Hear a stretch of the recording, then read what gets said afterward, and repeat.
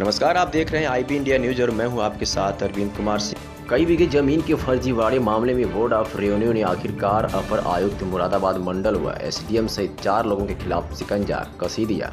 सदर तहसीलदार की तहरीर पर बिजनौर कोतवाली शहर में मुकदमा दर्ज कर लिया है। बिजनौर तहसील के ग्राम नरुल्लापुर खाबू में तीन बीघे ज़मीन को लेकर सन 1960 से ग्राम सभा सिंचाई विभाग और राजेंद्र मोहन के बीच विवाद चल रहा था।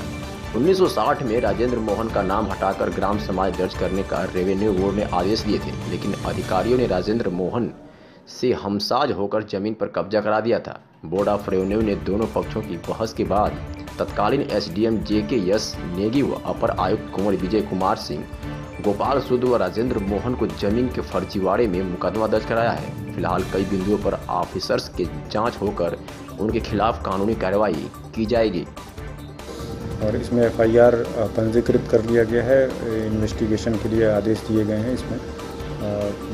क्योंकि राजस्व से संबंधित मामला है तो इसमें ढेर सारे रिगार्ड्स की भी हमें आवश्यकता है और उसमें संबंधित विवेचक को बताया गया है कि वो सभी रिगार्ड्स लेकर के उसका परीक्षण करेंगे और उसके आधार पर जो भी वैधानिक कार्रवाई है वो करेंगे।